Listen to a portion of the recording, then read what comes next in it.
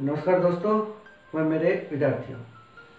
मैं अशोक सुथार अपने YouTube channel hand writing शिक्षा पर आप सबका स्वागत है।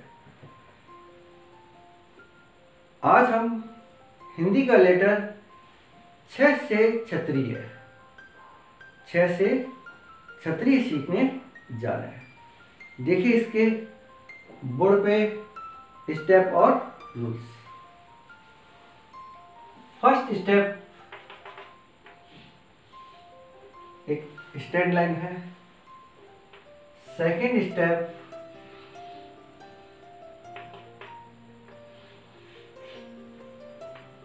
थर्ड स्टेप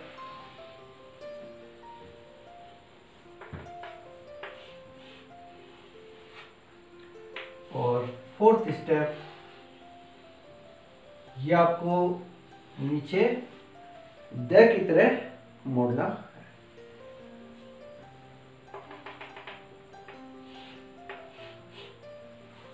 फिफ्थ में आपके कंप्लीट हो जाएगा।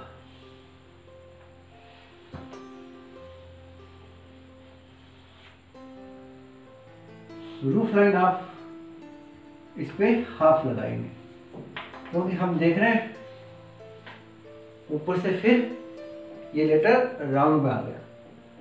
हमारा एक छोटा सा नियम है रूल्स है कि ऊपर से जो भी लेटर राउंड में आ रहे हैं, उन सब के ऊपर रूफ लाइन हाफ़ लगती है।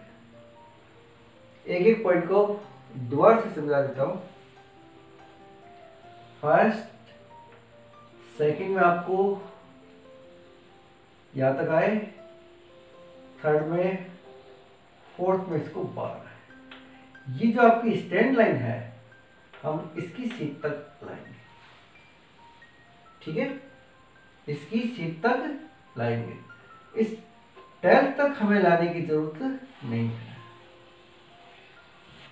कुछ लोग इस टेल तक ले आते हैं इस तरह से। ऐसा नहीं करना चाहिए। हमें यहाँ तक लाके छोड़ दो और रूफ लाइन हाफ़ लगाओ। ये लेटर आपके आराम से इजी बन जाएगा। इसमें ये गलती भी नहीं करें आप। इसको ऐसे ही करते हैं, कुछ लोग यहाँ ऐसे छोड़ या फिर लेटर तो सही बनाते हैं। लेकिन रूफ लाइन इस पर पूरी लगा देते हैं। इस पर कंप्लीट नहीं आती। बाकी ये लेटर आपके इजी है ज़्यादा। मुश्किल या हार्ड नहीं। अब आप इसके फाइव पॉइंट्स कॉपी में नोट कर सकते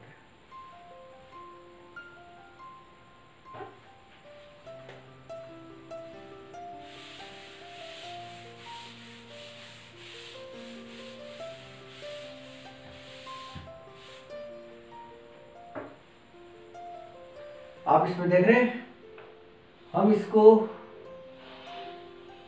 इस लाइन से, सीधे लाइन से इसको ऊपर रखते हैं। इससे हमें एक फ़ायदा होता है कि हम गलती से भी इसको फुल नहीं खींच पाते। हमें पता है कि लेटर कट जाएगा।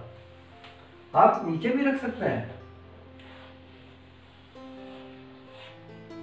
लेकिन इसमें क्या है? गलती से हम फुल लाइन खींच खींच देते हैं। इस वजह से इस पर हम ऊपर से लाते हैं तो थोड़ा सुंदर भी लगता है, और इस लाइन से नीचे रख देते हैं तो सुंदर भी कम, और ये लाइन कंप्लीट खींचने की गलती या फुल लाइन खींचने की गलती ज़्यादा रहती है। होती इस पर हाफ़ है, लेकिन ये नीचे की वजह से हम भूलवश इसको कंप्लीट खींच देते हैं। ठीक है? इसलिए इसको नीचे कम रखें। ये गलती नहीं हो। लेटर सबको समझ में आ गया?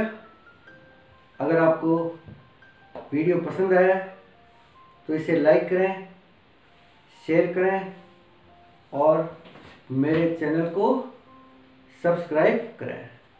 जय हिंद।